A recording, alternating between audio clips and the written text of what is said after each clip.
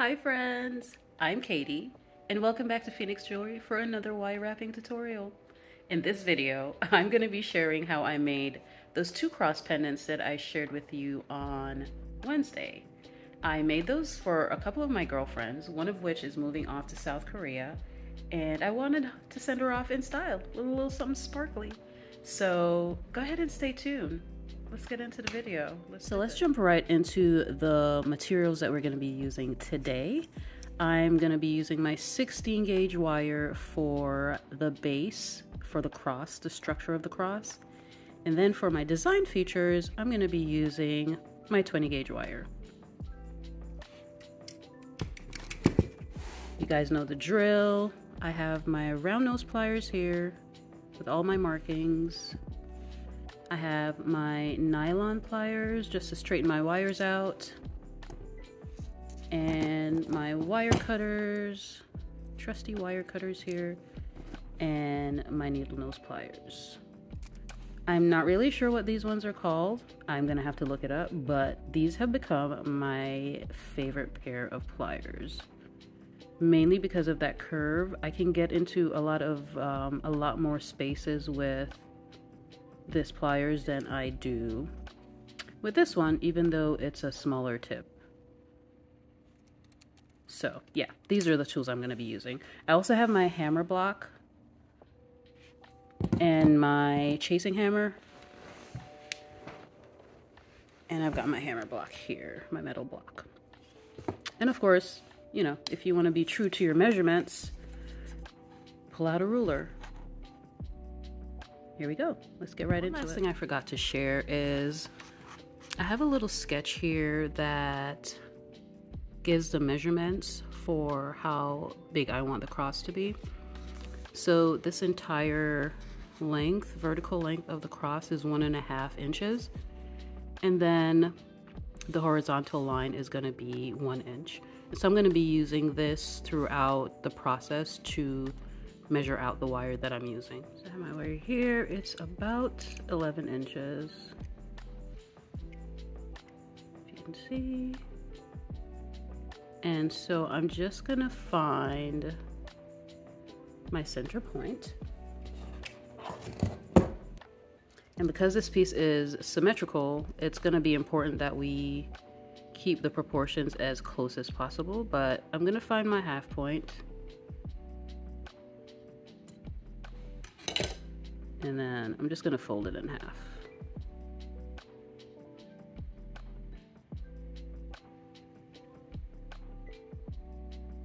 Like so. It's very rare that this it happens that I get half, exactly half. But anyways, um, and I'm gonna just hold this and kind of get it as close as possible.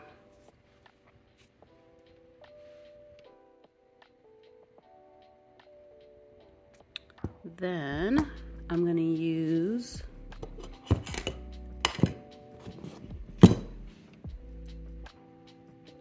these pliers here to kind of squish this part down.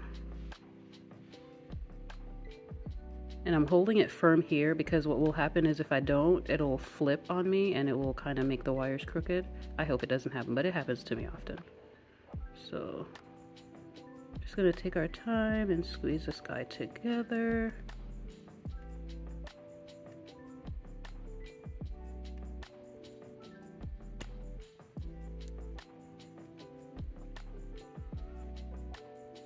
and I'm actually gonna hammer this end piece out but I think I'm gonna make the the, the horizontal cross going that way before I start hammering just so I have the whole piece finished so now I'm gonna bring my sketch in and kind of measure out the rest of the areas or mark off where I want to make my other curves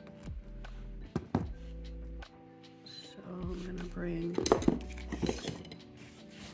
my book in. Don't pay attention to all the other things on the book, but uh, let's see.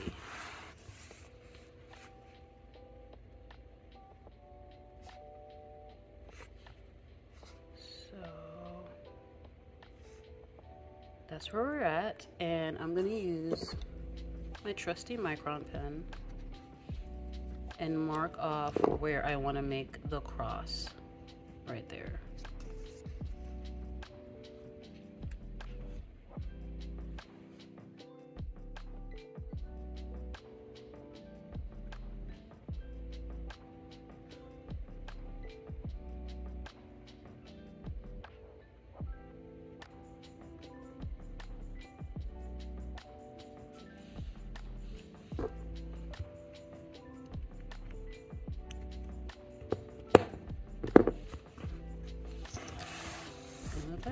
That out of the way. And now that we have our markings,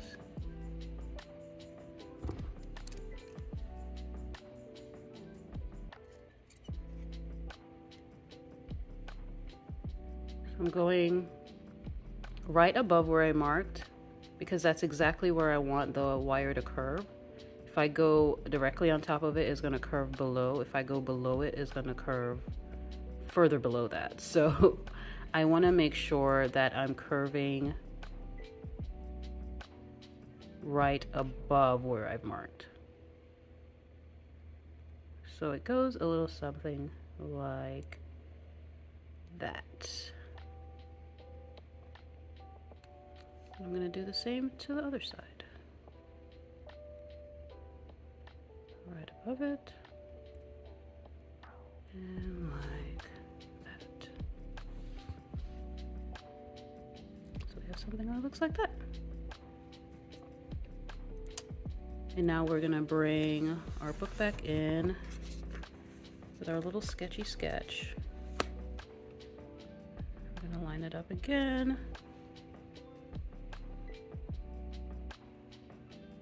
And I'm just trying to find my center point here. I should have made the sketch closer over to the middle of the page because this is kind of throwing it off a little bit, but let's proceed.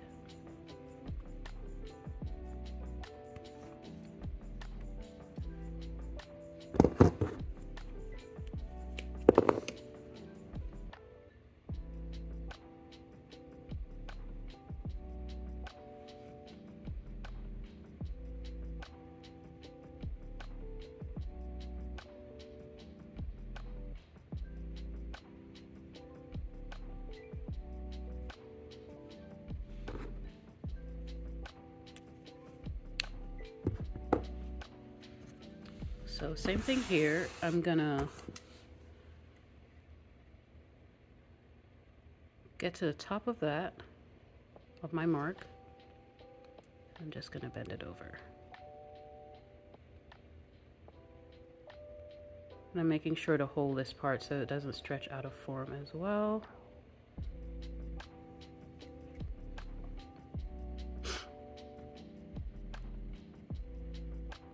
Got a little wonky, but we'll fix it. We'll make do. I'm gonna do the same thing and squish it down. Oops. So that's what I was talking about. If we're not careful, it'll flip on us. Sometimes I'm happy little mistakes happen so I can share them with you and show you how to fix them. So I'm gonna go ahead and just grab it and twist my wire back around, back into place.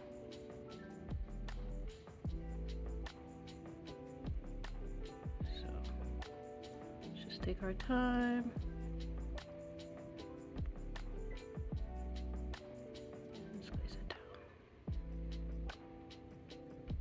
Now I've lost my marking on this one, so I'm gonna have to go back and redo that. Actually, I'll just flip it this way because it might be easier. So we're going here.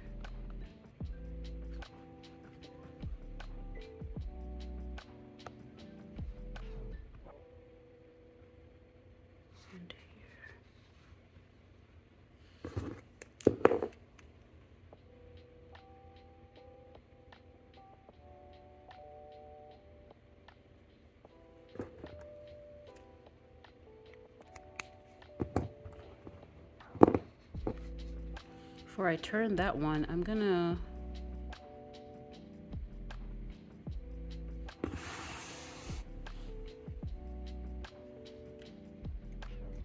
put this guy. So I'm coming to the edge right in the, between the two um, horizontal facing wires. I'm gonna go right between there because I want to turn this up to make my, start making my bail.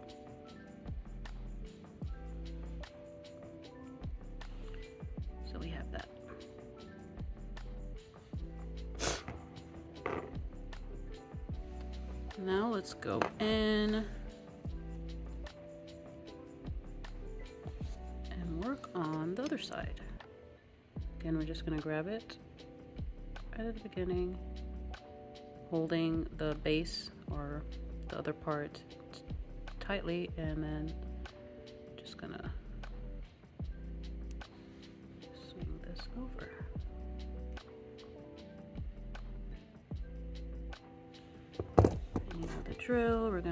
and squish this down, just take our time.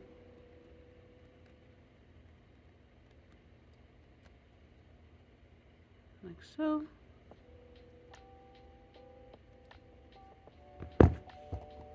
Then we're going to come in the middle right here. So let me go the other direction. Middle right here.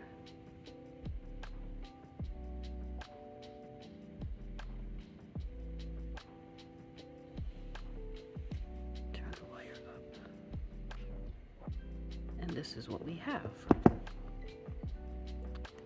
Just gonna straighten this part out. But this is what we have as our cross so far. And as you can tell, it's a little twisted right here, so I'm just gonna use these and straighten them out.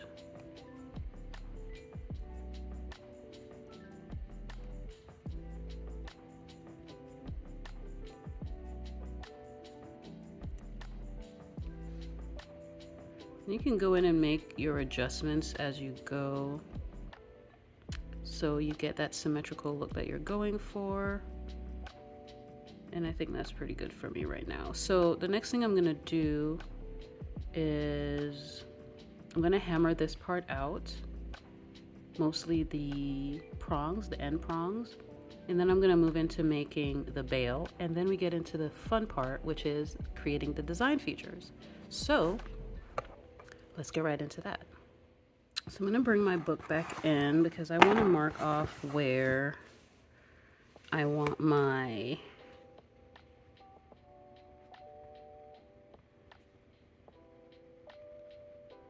where my um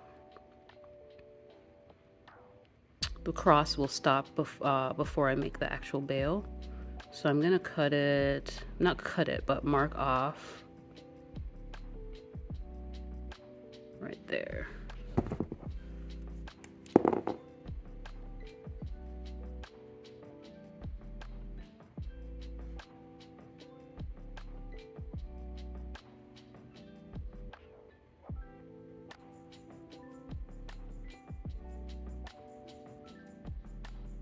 So now let's hammer out the portions of the pendant that we want to flatten.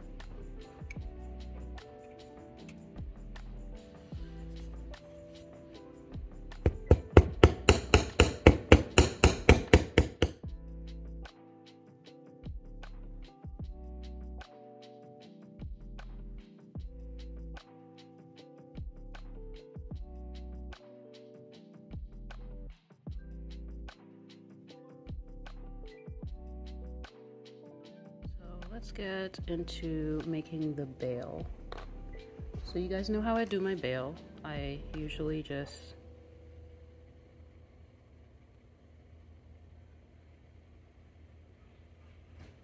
bend everything back.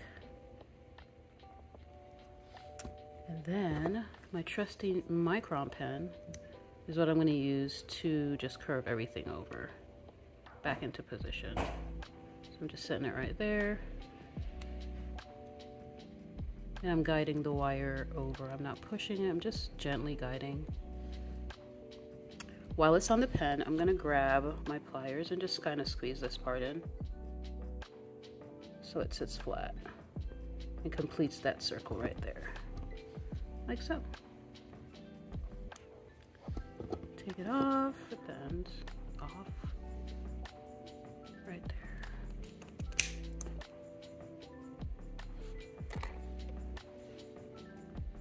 gonna use my round nose pliers. That bad boy right there. I'm just gonna turn it in. So now that I have everything the way I want it, I'm gonna go in with my 20 gauge wire. It's probably about four or five inches, maybe. And I'm just gonna start wrapping so I keep these two parallel lines um, together.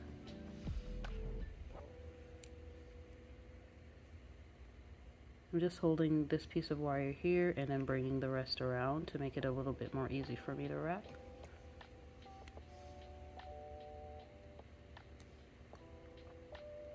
And you know the drill, as you're going, go ahead and squeeze this guy down. Make sure it's flat and taut, not tight. And so I'm going to be doing about seven of these wraps. However many could fit there without it looking too crazy and bulky. I think five might be better. So three, four, and five. Okay, six. we'll do six since I already have this piece going across like that. So just move it down.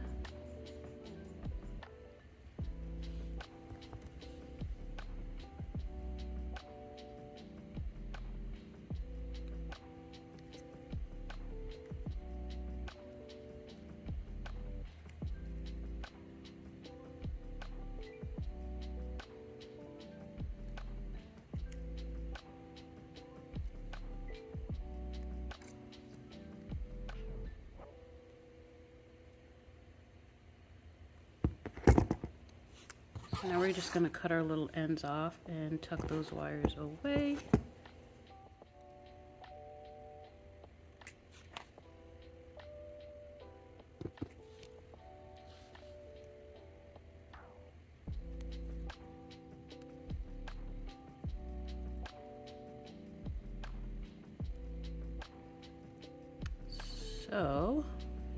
What we're gonna do is apply the same design down here.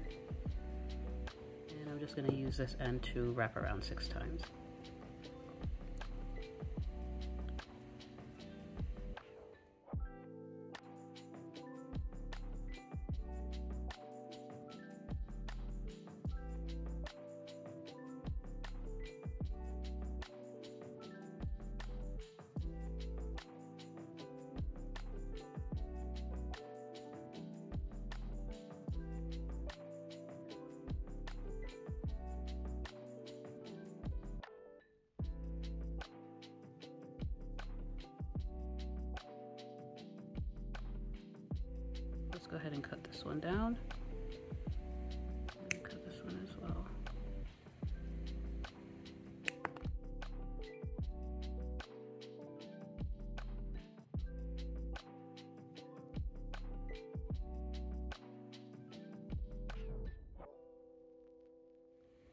And what I want to do next is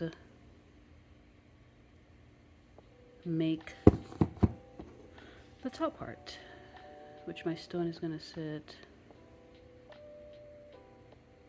right here, like so. This is what we're left with, and the bead's right there.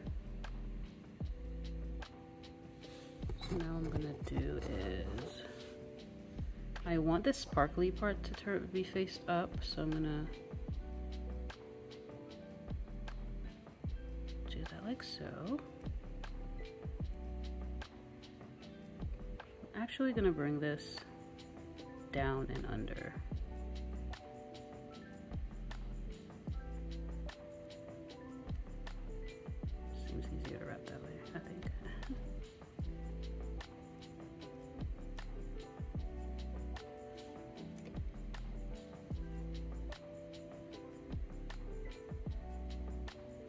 Start the first part and then I'm gonna just to keep the stone secure and then I'm gonna go in and do this part here.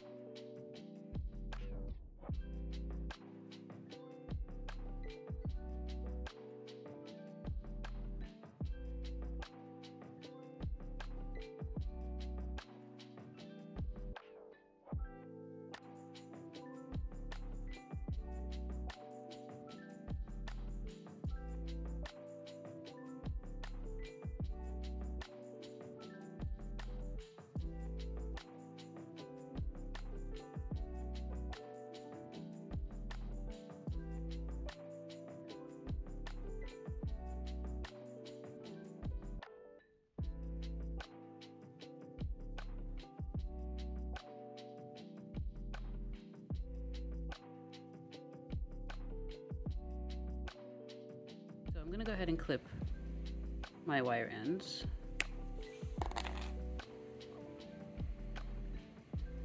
And I'm probably gonna speed this part up because it's just gonna be me fiddling around and fixing things to my liking. But so far, this is what we have. We're almost done though, so.